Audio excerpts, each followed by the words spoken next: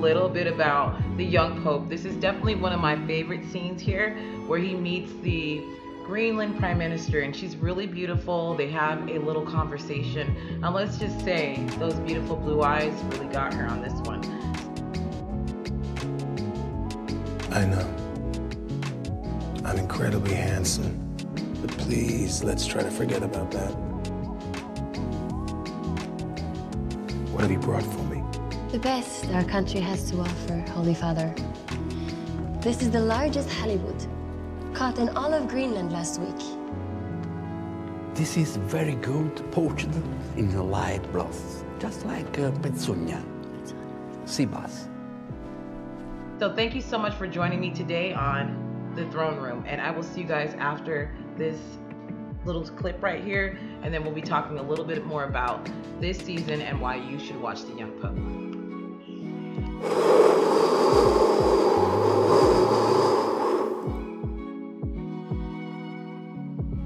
And this is a beautiful song by an Italian singer who's pretty popular in our country. She's called Nada, and the song is entitled Senza un perché. Thank you.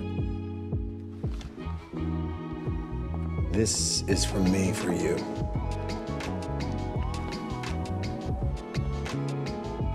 Thank you, Holy Father. It's wonderful. Holy Father, first of all, I bring you the greetings of the Catholic community of Nuuk.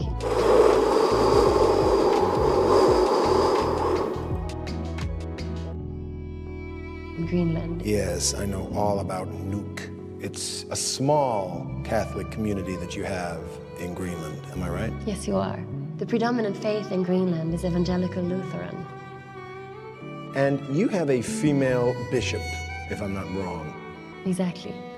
Sophia Peterson, an estimable woman. All bishops are estimable.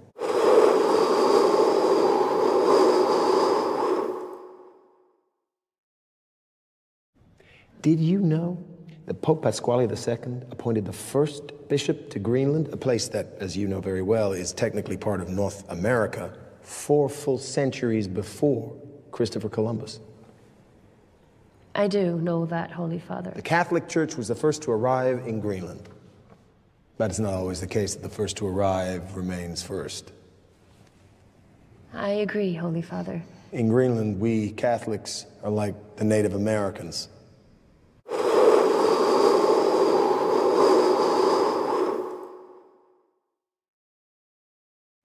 We got there first, and then we were confined to reservations. I agree, Holy Father. You're a woman who tends to agree. Oh, don't worry. Madam Prime Minister, I'm not asking you for anything for our small community in Greenland.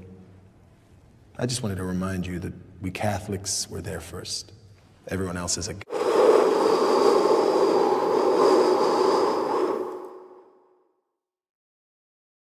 Now, I ask you, please satisfy my morbid curiosity.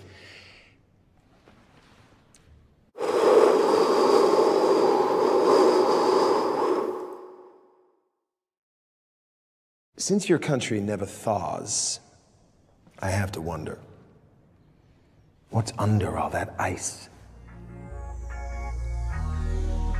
The experts believe that Greenland is not an island, but an uh, archipelago of islands.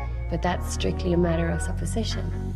As you say, the country never thaws and no one can see what's under there. I think the experts are wrong. Really, Holy Father? Yes. Under all that ice could be God.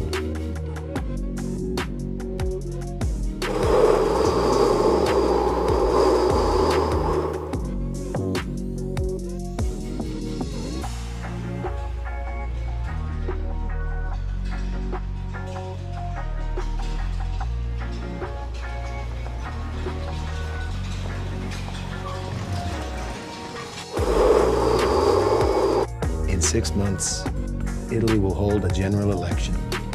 And you will try to maintain or increase your 41% share of the electorate. Right now, everything, indeed, points to your ability to maintain that 41%. Yeah. But just imagine a few weeks before the election, there comes an announcement. Pope Pius XIII has decided to appear in public for the very first time.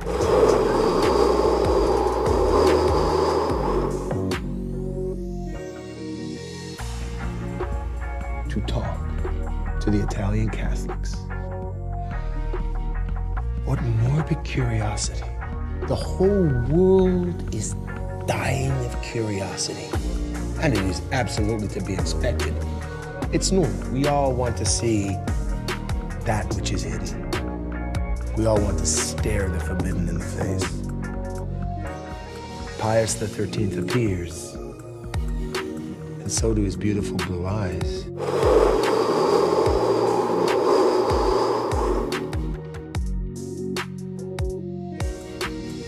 His soft, round mouth. A dazzling image. So dazzling, it blinds people. In other words, a powerful and evocative image.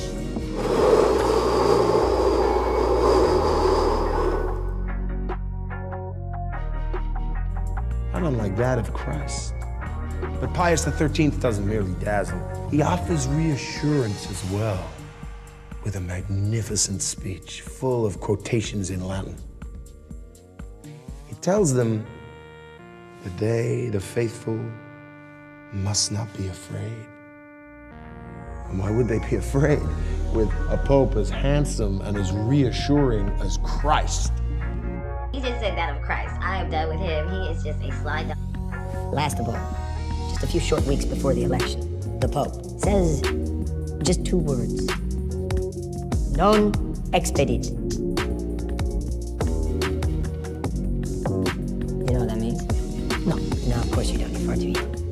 The non expedit was first issued by Pius IX in 1868. It was eliminated by Benedict XV in 1919.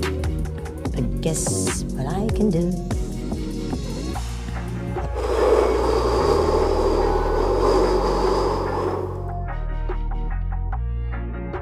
1919. But guess what I can do? But I, who am not answerable to 41% of the Italians, but to God, who, by the way, doesn't express his displeasures on social network if I make a mistake. Guess what I can do? I can restore the non expedit. The Catholics will rush to Google those words. What do they mean? The non expedit.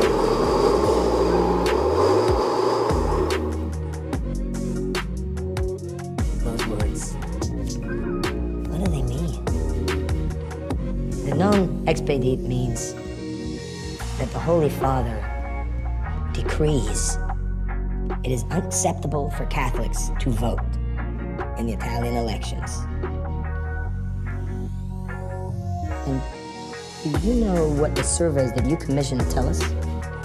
They tell us that the number of Italians who identify themselves as Catholics are 87.8% of the population.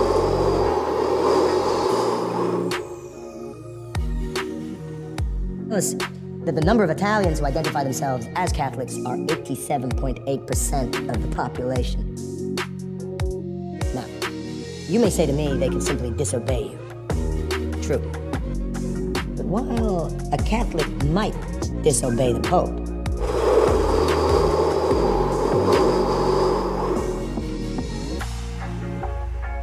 well, a Catholic might disobey the Pope, they'd never disobey Christ. I'm already the former. But believe me, if I want to, I can have myself accredited as the latter as well. And when I do,